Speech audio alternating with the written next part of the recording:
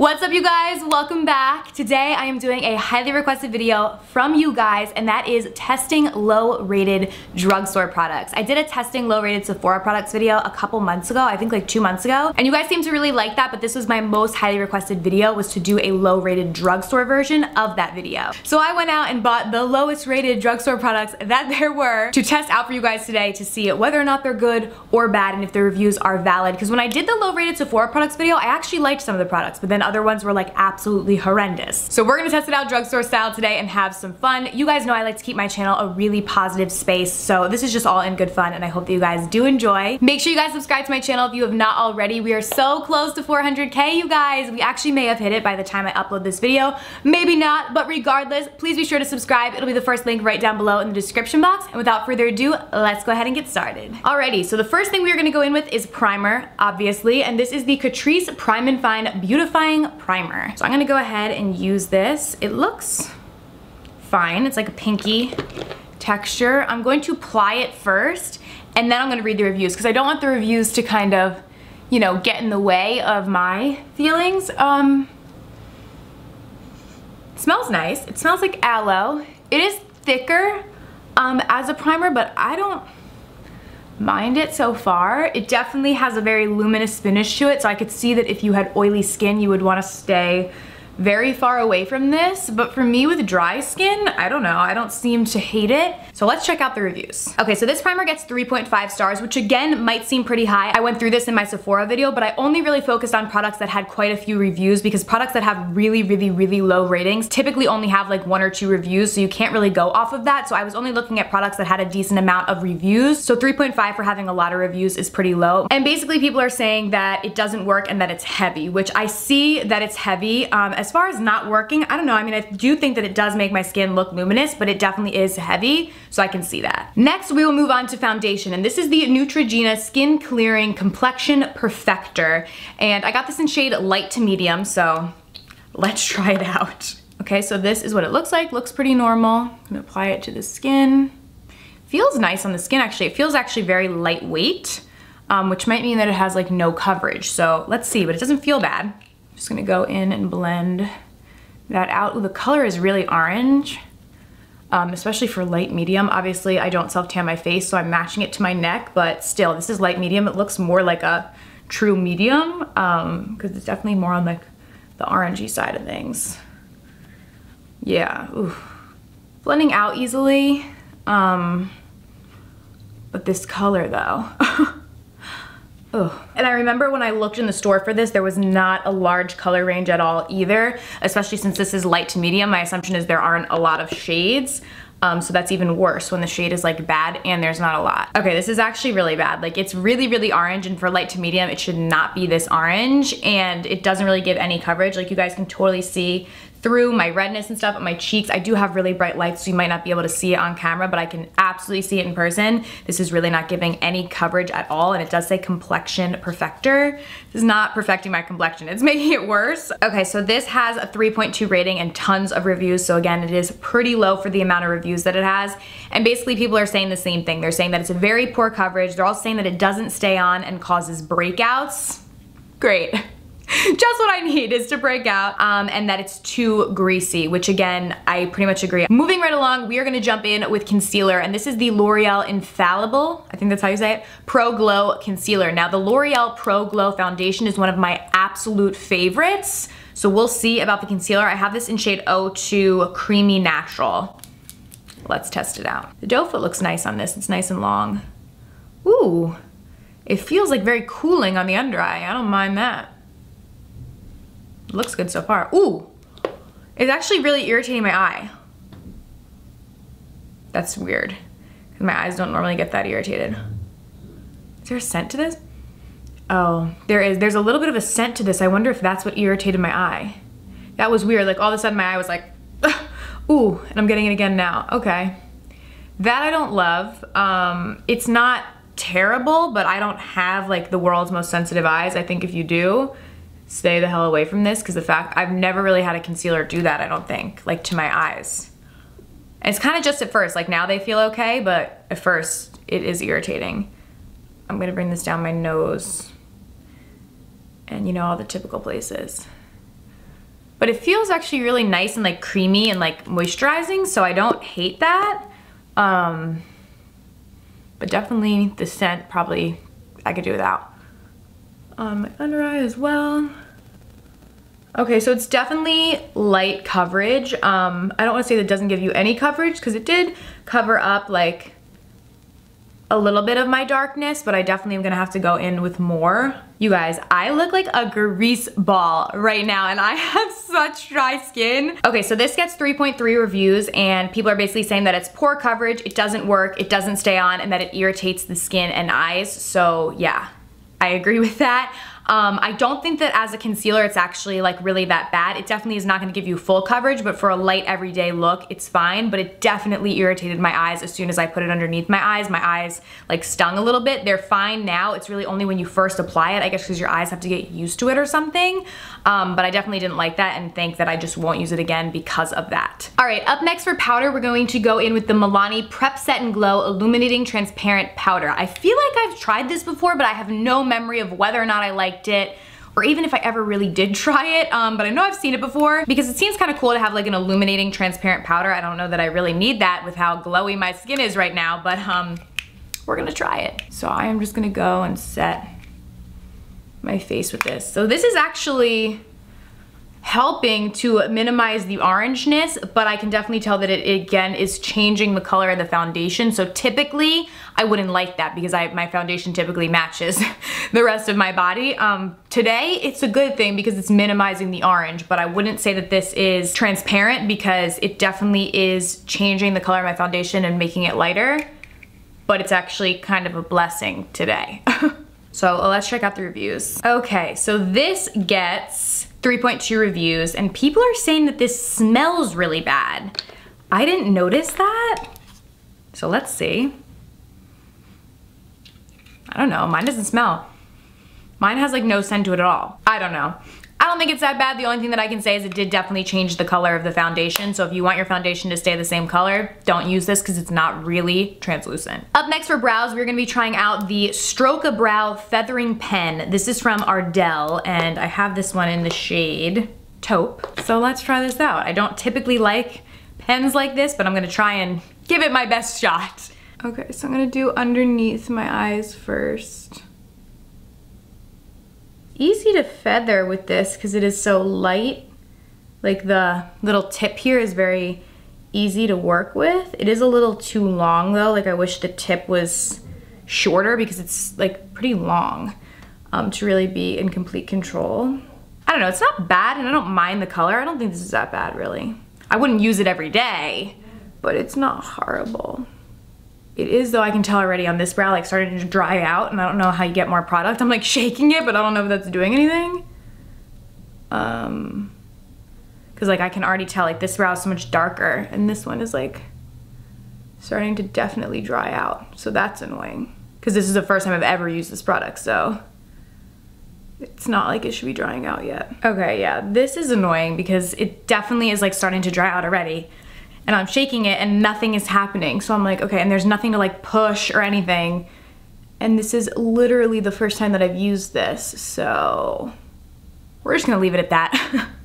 Let's check out the reviews. Okay, so this gets 3.4 stars, and again, people are saying the same thing. This person is saying she used it three times and it already ran out of product. This person is saying she used it two times, loved it, and then tried it a few days later and there was no product, tried twisting it, shaking it, and nothing came out. So yeah, I don't know like if there's a way to get more product out of here, but there is no, nothing to push. I shook it multiple times, and even just me doing my second brow, I could already tell that there was like losing a lot of pigment in this product. So if you can only use it once, that doesn't really help you. Moving on to eyeshadows, we're gonna go in with the Gigi Hadid Maybelline eyeshadow palette. This is the cool one. I used the warm one and I actually liked it, but this one does not get great reviews, so I figured we would test this guy out today. So I'm gonna go in with this color in my crease, and I'm just gonna work that in. Wow, it's actually really pigmented, and this is a matte shade. It seems to blend really nicely. I feel like I can already tell, like I feel like with a lot of the reviews that I read on this collection, a lot of people were mad because the products, like this is exactly like the City Mini palettes that Maybelline makes, but it was priced higher than the City Mini palettes because it's in collaboration with the Gigi Hadid. And I think a lot of people really didn't like that it came in at a higher price point just because it was a collab, you know, product with a celebrity. And I get that, you know, I get the consumers being annoyed at that for like them kind of upcharging for the same thing. But then I also see Maybelline side as well where, you know, it was a collab with a celebrity. I'm sure they had to pay her for that, um, you know, and they could upcharge it a little bit more. So from a business perspective, I see it, but I feel like that's why um, some of these products kind of got harsher reviews just because they were priced higher. So people were annoyed at that which is understandable, but not necessarily because they're bad products. Because I remember when I tried the warm one, I did like it. And this one, I feel like as far as right now, is blending nicely. Um, and I don't really think it's bad. Then all over the lid, I'm gonna go in with this sparkly color. I'm just gonna pack this. Oh my God, this is so pretty.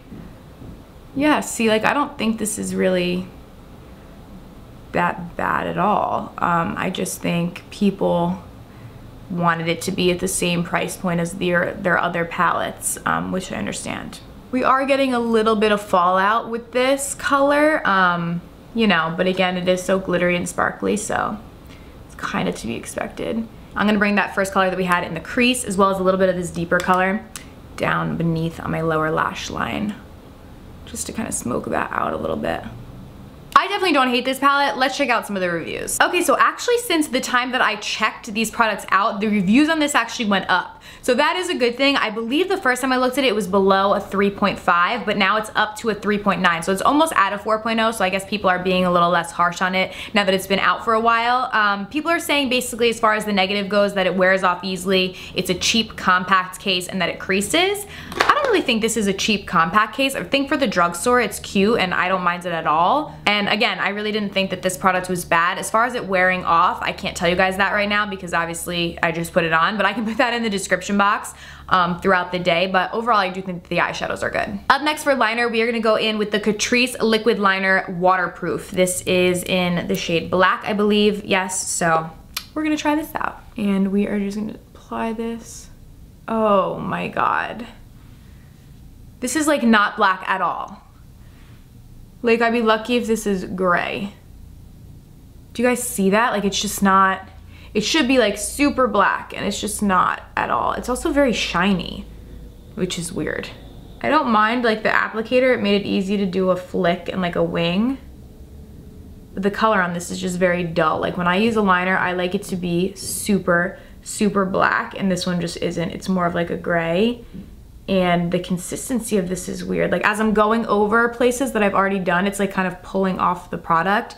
I guess because it's waterproof, it's like a different sort of formula and it's very like shiny, which I feel like I've never really seen. Like most liners like this are kind of like matte. Okay, so this gets 2.2 stars and people are basically saying that it fades throughout the day, it's very difficult to apply, and that it never looks bold and black. It's just kind of lackluster, which is exactly pretty much what I thought. Nobody's really saying though that it came out like shiny, which is weird to me, um, but nobody's really complaining about that in reviews, but it definitely is more of like a shiny finish to it, but to me, just the biggest con is that it's just really not like bold and black and like a deep dark black. It's very much like a gray. And people are also saying that it's very difficult to remove. So great. Alrighty, moving on to the mascara, we are gonna go in with the Rimmel Shake It Fresh mascara. So this is a little different. It says volume stays clump free with every use, shake to refresh when needed. So I'm gonna shake it first. Oh, And uh, yeah, we're gonna test this out. This is in the shade Extreme Black. It looks, it looks all right.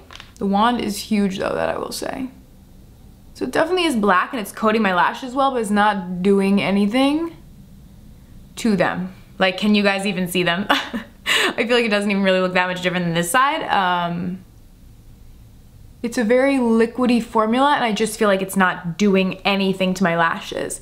It's not lifting them, it's not lengthening them, it's not making them more voluminous. It's just making them black because my natural lashes are obviously like white. Um, so it's just changing the color of them, but that's like literally it. It's giving me no volume, no length, just nothing. Okay, so this gets three stars and people are basically saying that this, again, did nothing for their lashes. It doesn't give them length, it doesn't give them volume. They did say that it's definitely non-clumping, which is, I guess, the main claim that this makes. No, it's definitely not gonna be clumpy on your lashes, but it's not gonna do anything for them either. Um, so yeah, this is a no for me. All right, moving on to the face, I'm gonna go in with the Essence Contour Powder. So this comes with a bronzer and a highlighter. I'm gonna use the bronzer first. So I'm gonna go in with this on my cheeks. I'm also gonna use it to contour, um, just so we can see. I don't think it's bad. At least on my cheeks, it looks all right. It definitely is a bit lighter, but it's not bad. Now I'm gonna go in and use it to contour. Ooh, it actually looks patchy when you use it to contour. That's weird. Do you guys see like I have that weird patch right there? Hmm. So when I used it on my cheeks, it was all right, but to contour, I wouldn't recommend it, and that's what it says. It says it's a contour powder. Now there is a highlighter in here, but I have another highlighter too that's actually like a cream highlighter, so I'm gonna put that down and then set it with the powder. So I'll use the cream highlighter first, read the reviews, and then we'll go back to the reviews on the contouring product. Um, but this is the Model's Own highlighter, and this is in the shade Moonlight. It's the Sculpt and Glow Highlighter Stick. So it's huge, um, so I'm gonna use my finger with it, because it's too big to really be used as a cheekbone highlight. Just kind of dot it on. It's pretty. It's definitely a subtle highlight, but I mean, that's not a bad thing for a lot of people because some people just like a little bit, you know, subtle. For me, this definitely wouldn't be a product that I would use because I like to glow to the gods. Um, and this just really gives you very minimal highlight. It also feels like sticky, like it has a stickiness to it, which is weird. All right, so for the reviews on this guy, it got 3.4 stars and people are basically saying the same thing. It is very natural. It does need to be well blended. I don't know that I think I really had to work at blending it that much, honestly, um, but people are definitely saying that it doesn't set and that it's greasy, and yeah, I would agree with that. It definitely is. It is still like very, very tacky on my skin. It's been on for about 10 minutes now. We're gonna jump back into this Essence contour powder because there is a highlighter powder in here, so I'm gonna use that to set it and maybe it'll make it not tacky. So let's see how this guy works. Oh, I don't mind this uh, highlighter. I feel like it definitely emphasizes the highlight a lot more than the cream highlight did, so I don't think this is that bad. All in all, I would definitely say this product is on the lighter side, like the bronzer and the highlighter are definitely lighter. Um, so if your skin tone's similar to mine or lighter, it would probably work. If it's any darker, I don't think that this would work, um, but there might be multiple shades in this. Yeah, this one is light, so there should be multiple shades. So I don't know, I don't, I don't think it's bad actually. Okay, so this gets 3.4 stars. It says that it doesn't stay on, it doesn't work, it's poor coverage, didn't last, didn't seem to cover much. Well, but it's a contour, so I don't know what they mean cover. People are saying the bronzer part wasn't pigmented at all. Like I said, it definitely is lighter and I did think that it applied as a contour a bit patchy. The highlighter to me though, I liked. I think that's nice. The bronzer though, I could do without. Alrighty, last but not least, we have the lips. So this is the Milani Amore Matte Lip Cream and this is in the shade Sugar. This is a very dark color, but let's try it. I normally like Milani products. Ooh, this, it has kind of a, definitely has a strong scent and it's not bad, but it's not great either. Kind of smells like cough medicine, like that cherry that they put in cough medicine is what this smells like to me. So let's go ahead. Well, it's very pigmented. Definitely really pigmented and creamy, but the smell is definitely straight up cough medicine. It's on the more liquidy side, so you just have to be careful when applying this because it can kind of go everywhere. I think this is pretty. I don't really like the smell. It does seem to be drying down though, but I can see that it is kind of streaky when you apply it. So you do have to be really careful when applying this because it can definitely kind of look like a hot mess. Um, so let's see what the reviews say. Okay, so this gets 3.5 stars. People are saying that it's drying and that it wears off really easily. So that's not good. People are saying that it literally starts to crumble off like a mud mask would do. So that I don't like. Oh, see here's, there's actually a lot of people that are saying that it peels off and comes off really quickly. So that is not good. I will definitely update you guys in the description box as to whether or not it stays or it comes off really easily because I obviously can't tell you right now because I just applied it. Alrighty you guys, so that is it. I hope you guys did enjoy this video. If you did, please be sure to give it a thumbs up and also be sure to subscribe to my channel before you guys leave today. Thank you guys so, so much for watching. I'll see you very soon in my next video.